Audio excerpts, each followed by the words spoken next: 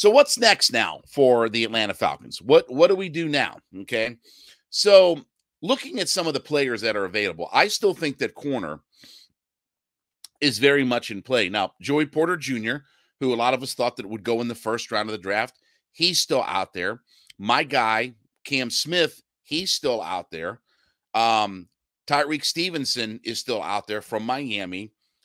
Julius Bre- uh, Brents from Kansas State, he's still out there. So I do think that there's a good deep class of corners that's available in the second round.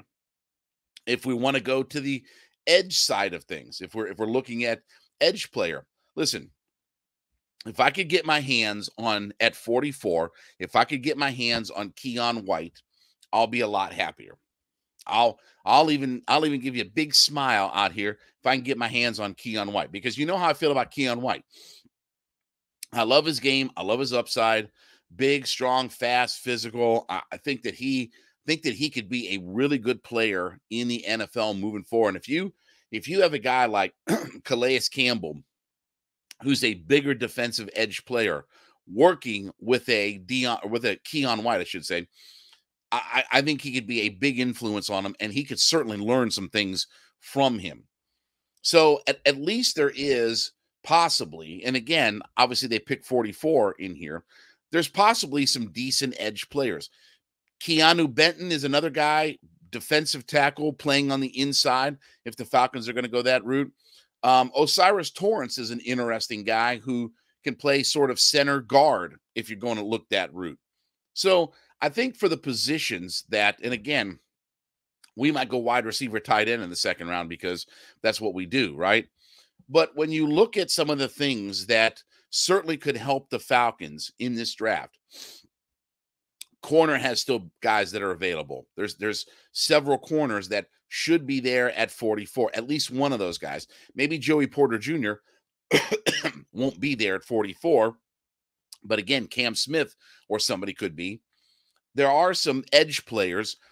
You started to see a little bit of a run on some of the edge guys a little bit later in the draft, but certainly if Keion White could fall, I, I would I would love to get my hands on for the Atlanta Falcons Keion White. We talk about having these local kids and things like that. Well, here's a kid who played at Georgia Tech.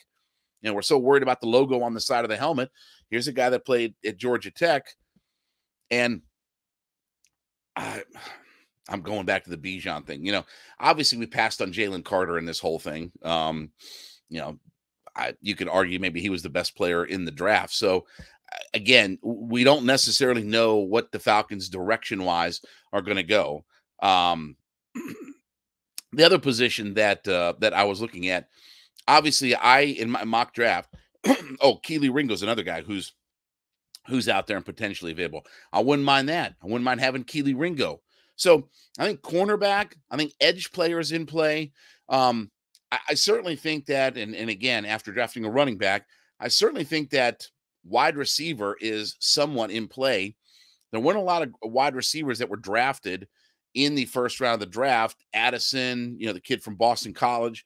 There weren't a lot of weren't a lot of players that were selected at that position that are that were in the first round. So certainly you would think that maybe a Jalin Hyatt. I've said Cedric Tillman. Those guys could all be available there. Uh, Jonathan Mingo's another guy that could be available. Jayden Reed is another guy that could be available. So I think that those are all high caliber guys. But if I'm looking at probably where the Falcons go next, my gut told me that they would go with cornerback at number eight. And you saw Christian Gonzalez fell to like 17, I believe it was. You know, Devin Witherspoon was the first corner taken off the board. I would have liked to have had him, but you saw Gonzalez was drafted a little bit later. They it looked like that in the first round that guys didn't value corner as much as maybe what we thought they would because we thought that Witherspoon, Gonzalez would be high draft picks. Joey Porter Jr. would be a guy that would be drafted. Um, the kid out of Maryland, I know he went in the first round, but that was another guy that was being looked at for his first round talent. So there is some really good talent when you talk about Ringo and Joey Porter Jr. and Cam Smith that all are capable second round players. And some of those guys might even have first round grades on them. So I do think that corner is very much in play. Obviously, with getting rid of Casey Hayward, You know, you you can't have too many corners, as my friend D Led says. And obviously, you know, we don't know necessarily about Jeff Okudah. What's he going to be like? So having a young corner that you don't have to worry about for the next four or five years, you know, certainly, you know, four years certainly is is not a bad option to have. Okudah's a one year guy. So as of right now, uh, most likely they will not pick up his fifth year option. He's a one year he's a one year player.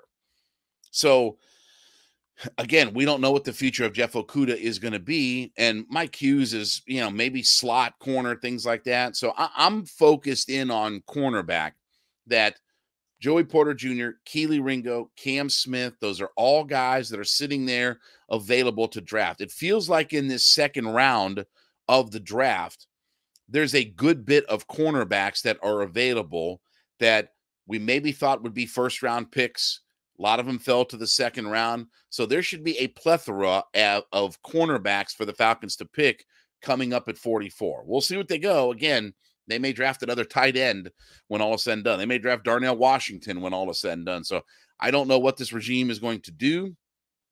I don't really have my hands um in the in the you know in the pie to figure out what they're going to do but we will see but it will be an interesting second and third round i'm going to be up at flowery branch tonight, and I'll have uh, you know coverage on the radio for all of it. But we'll see what happens with uh, with the second round. But I do think corner is the most likely pick to happen for the Falcons in the second round. All right, we thank you uh, for making hitting hard every day um, as your first listen. Listen, we want you to leave us a comment when you do listen into the show and let us know that you're an everyday listener to the program. So we thank you so much for being an everydayer, as we like to call them. So we thank you so much for listening in every day to the program. Hitting Hard is available on all your favorite podcast platforms. And certainly give us a comment that you do listen in every single day to us.